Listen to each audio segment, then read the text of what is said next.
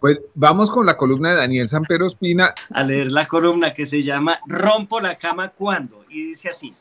Me leí la, la explosión controlada, el libro de Alejandro Gaviria sobre su paso por el gobierno y agradecí que alguien elevara el nivel intelectual del debate al punto de que en el segundo capítulo quise sumarme yo mismo al lenguaje académico para explicar nuestra melaza diaria. Apoyado en la tesis de Albert O. Hirschman, Gaviria explica que el mejor hijo de Ciénaga de Oro, el más hondo filósofo de Zipaquirá, Vive preso en sus discursos platónicos, maldito soñador que duerme desnudo, como alguna vez él mismo lo confesó en una entrevista.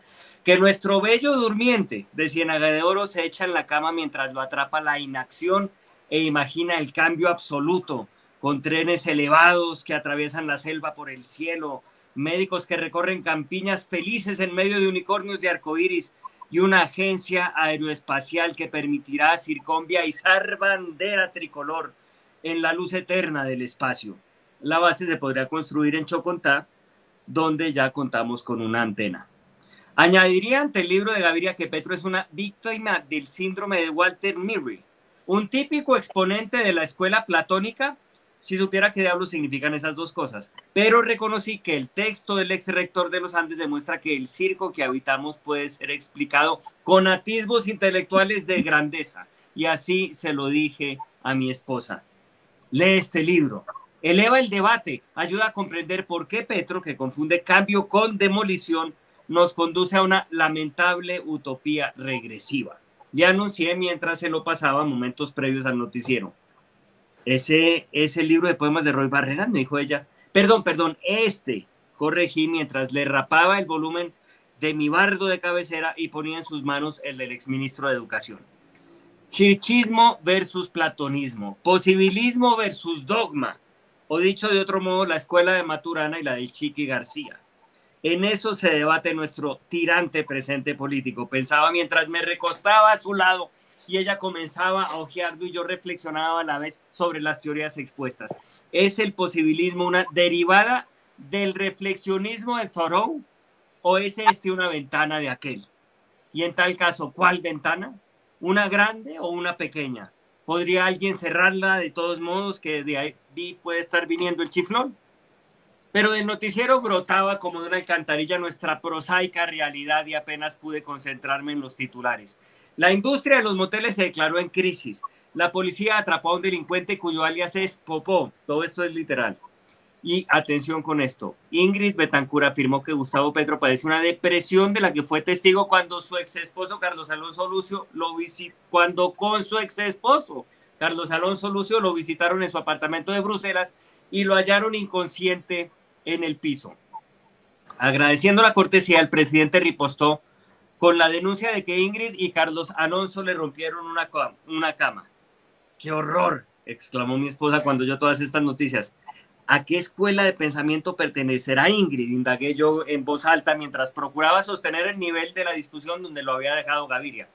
¿Cómo puede ser uno presidente y la otra ex candidata y sacarse esos trapos sucios? Siguió diciendo mi mujer con impresión digna hija de la escuela impresionista.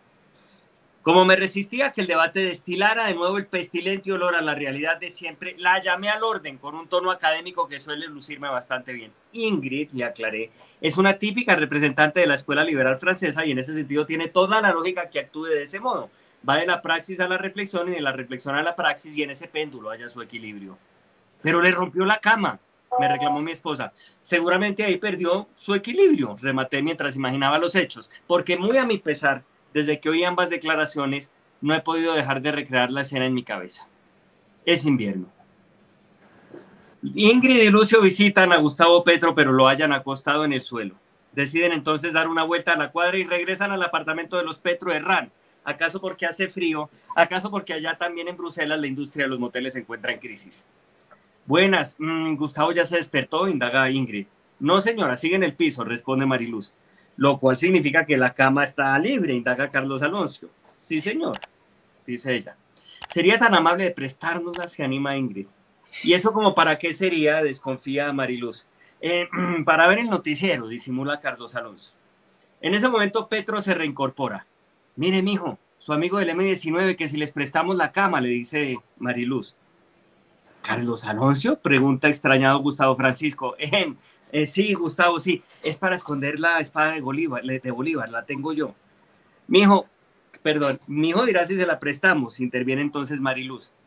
¿Y necesitan solo la cama o también la pijama? Pregunta Petro, porque yo duermo desnudo.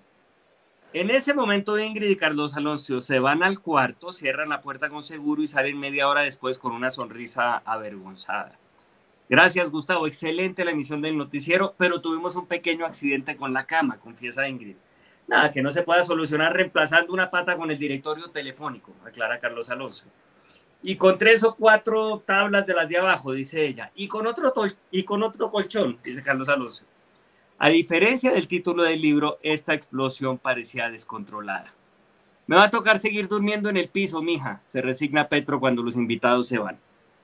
La misma semana en que leí el libro de Alejandro Gaviria, una ex candidata presidencial dice que el presidente es cocainómano depresivo o parece un cocainómano depresivo y el presidente le responde recordándole que le rompió una cama con su expareja y en fin, eso somos, queridos amigos. Solo falta que los moteles terminen de quebrar y que alias Popó se fugue de la cárcel en la que, en la que purga, si me dejan decirlo así, su pena. Que se escape como por entre un tubo, si me permiten de nuevo decirlo de ese modo. Quise repetir la escena de los Lucio Betancourt durante la sección de deportes del noticiero, pero mi esposa parecía sumergida en el libro. Regresé entonces al poemario de Roy Barreras y al ratico traté de conciliar el sueño, aprovechando que nuestra cama no estaba rota. Esa pues fue mi columna de hoy y al final de ella ustedes van a poder encontrar el link que les permite acceder a mitaquilla.com.co para poder comprar boletas para la función de Circombia. Mañana nos quedan apenas 15 boleticas y pasado mañana ya está agotada. Entonces los invito a que rematen de una vez la obra y listo. Y nos vemos eh, allá, en el Teatro del Gimnasio Moderno, lunes y martes, 8 de la noche. Allá nos vemos. Claro que sí. Daniel Samper Pizano. Eh, quería contarles que esta semana no, no escribió Enrique Santos Calderón su columna que, que tiene cada vez más, más lectores pero tenemos una columna de una profesora, de una abogada y profesora de la Universidad de Georgetown en Washington, eh, que se llama Silvia Serrano. Silvia Serrano escribe acerca de justamente un tema que ya afloró aquí en este, este debate y había aflorado antes en los Danieles, que es el de hasta dónde se puede o se debe informar sobre la salud del presidente. Eh, el, el, artículo de ella se llama La salud de Petro, un debate sano. Lo encuentran ustedes en los Danieles. Eh, y, de paso, eh, quiero observar que hay un tema que, sobre el cual será conveniente volver, y es el de la, la, edad, no para Colombia propiamente, pero para los Estados Unidos, la edad de los que se van a ser elegidos. Porque ahora hay un gran debate, Anita, que escribe sobre Trump y, y le encanta el tema, lo sabe. los dos candidatos de Estados Unidos son casi tan viejos como yo, es decir, son gente que pasa, el, yo le llevo un añito nomás a, a Trump, pero, pero soy más joven que Biden. Y en caso de que llegara Biden, perdón, eh, Trump a la presidencia, terminaría de 86 años, que es más o menos lo mismo que tuvo nuestro famoso eh, presidente San Clemente, a quien tumbó su vicepresidente y terminó el pobre sus días en calidad de, ex de expresidente.